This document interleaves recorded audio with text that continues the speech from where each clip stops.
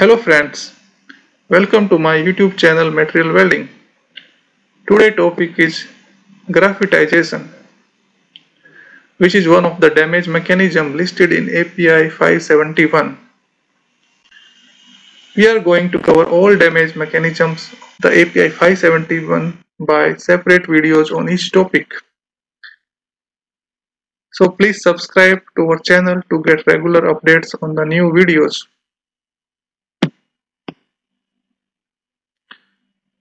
So what is graphitization? Graphitization is a change in the microstructure of certain carbon steels and 0.5 moly steels.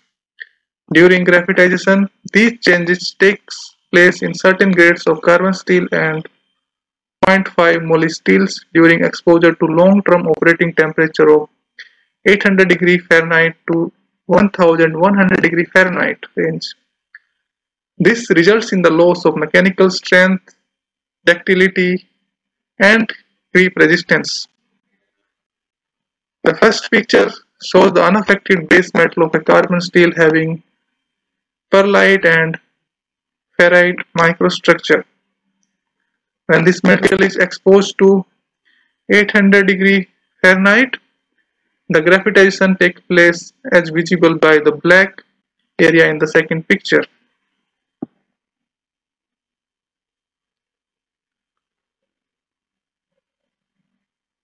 Let's know which materials are being affected by the graphitization. As mentioned, it happens in certain grades of carbon steel material and 0.5 molybdenum steel such as SA182F1 or SA204 grade A, B and C etc.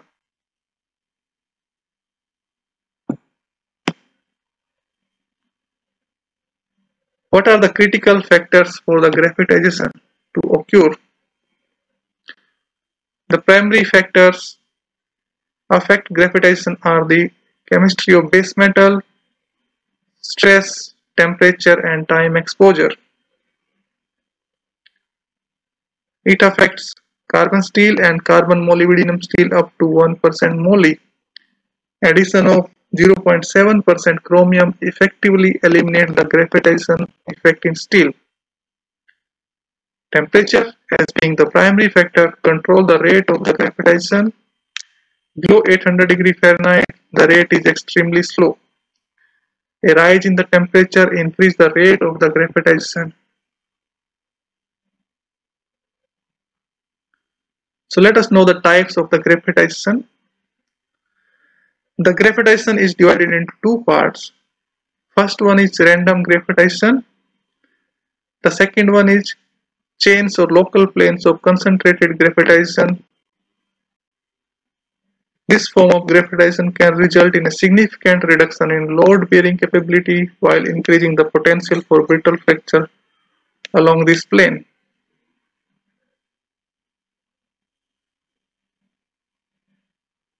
The random graphitization on the other hand reduces room temperature tensile strength and has no effect on the creep properties. Now chains or local planes of concentrated graphite nodules which can be further classified into first weld heat affected zone graphitization also called eyebrow graphitization this is most frequently found in the heat-affected zone adjacent to welds in a narrow band corresponding to the low temperature edge of the heat-affected zone. In multi-pass welded butt joint, these zones overlap each other covering the entire cross section. A graphite nodule can form at the low temperature edge of these heat-affected zones, resulting in a band of weak graphite extending across the section. Because of its appearance, this graphite formation within heat-affected zone is called eyebrow graphitization. Next is non-weld graphitization. It is a form of localized graphite, graphitization which also occurs in chain-like form. It sometimes occurs along planes of localized yielding in steel. In a chain-like manner, it experiences significant plastic deformation as a result of cold working operations or bending. Next is timeline for occurrence of graphitization. Severe heat affected zone graphitization can develop in as little as 5 years at service temperature above 1000 degree Fahrenheit. Very slight graphitization would be expected to be found after 30 to 40 years at 850 degrees Fahrenheit.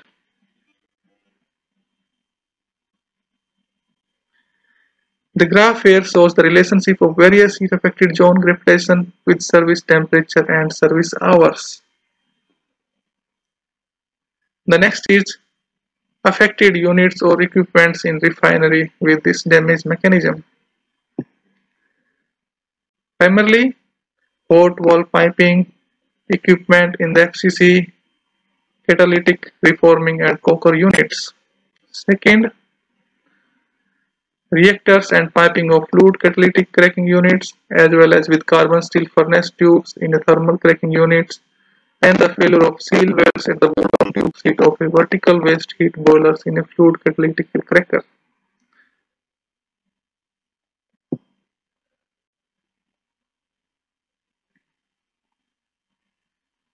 Third, economizer tubing, steam piping and other equipment that operates in the range of temperature of 850 degree Fahrenheit to 1025 degree Fahrenheit is more likely to suffer graphitization.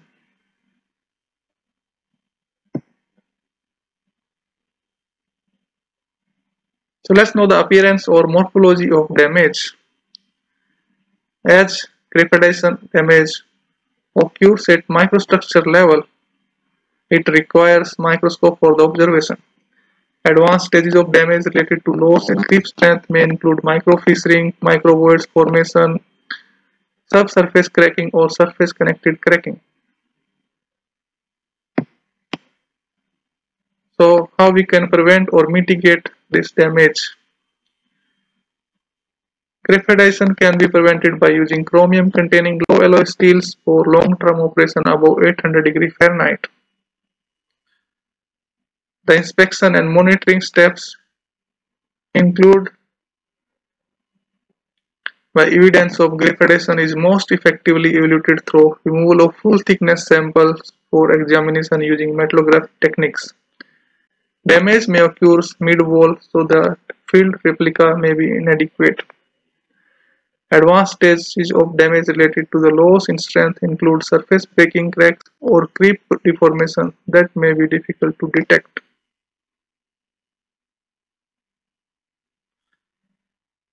Here are few questions related to this damage mechanic mechanism which will be helpful for the people who are going to take API 571 exam. The answers are given at the end of the video.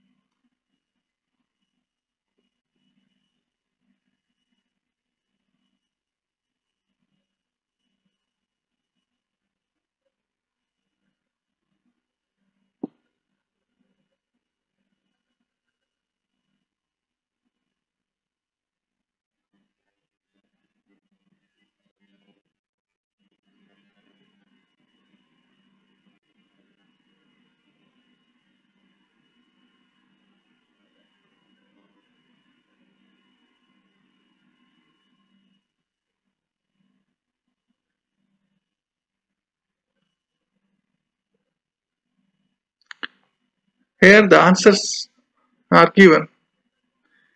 Thank you for watching this video. Please do not forget to subscribe to our YouTube channel.